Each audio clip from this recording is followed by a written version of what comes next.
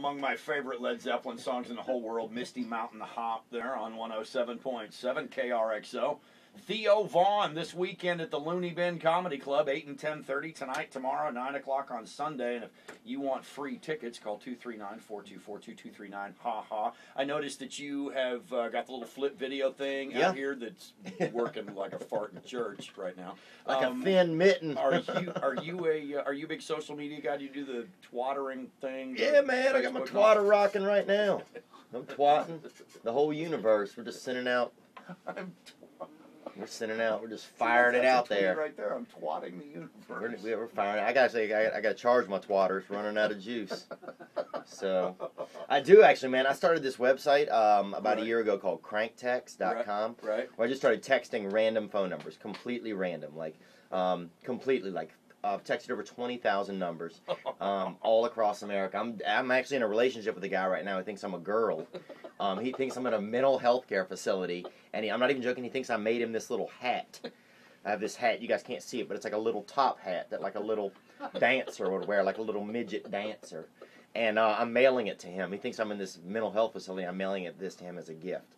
But uh, basically, the, uh, the the website is I text random people. Say I'll text 300 people and be like, "Hey, it's Allison." One guy's like, "Oh, Allison, how have you been?" I'm like, "Awesome." He's like, "Hey, I'm in town. I'm gonna come over tonight. Maybe bring a bottle of wine."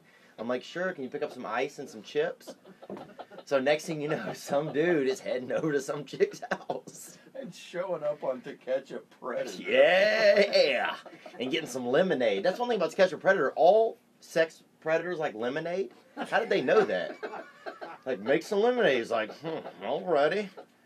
Nothing goes with a little fella like a cool glass of refreshment. um, but anyway, the website's called cranktext.com, and there's hundreds of conversations on there.